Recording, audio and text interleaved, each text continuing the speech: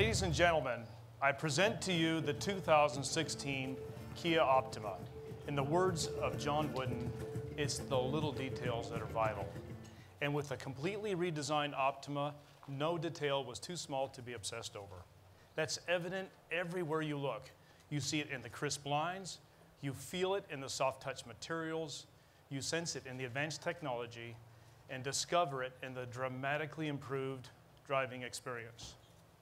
It all begins, of course, with the look. Here we are, nearly five years to the day, and the outgoing car's styling arguably is still the most sophisticated in the segment. So, our mission was to remain true to what made the Optima so appealing, while evolving into something decidedly more sophisticated.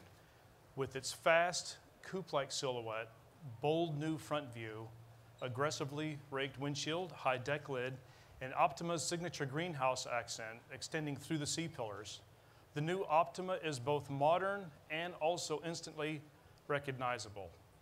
For the first time, Optima will be available with a choice of three four cylinder engines, two of them turbocharged.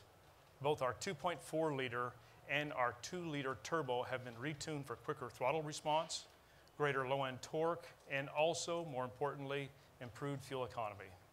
As our best selling vehicle for three years running, the Optima has had a huge impact on our brand.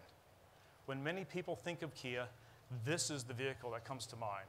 And now it's more refined than ever. And I'm pleased to tell you it will continue to be built with pride at our U.S. manufacturing plant in West Point, Georgia.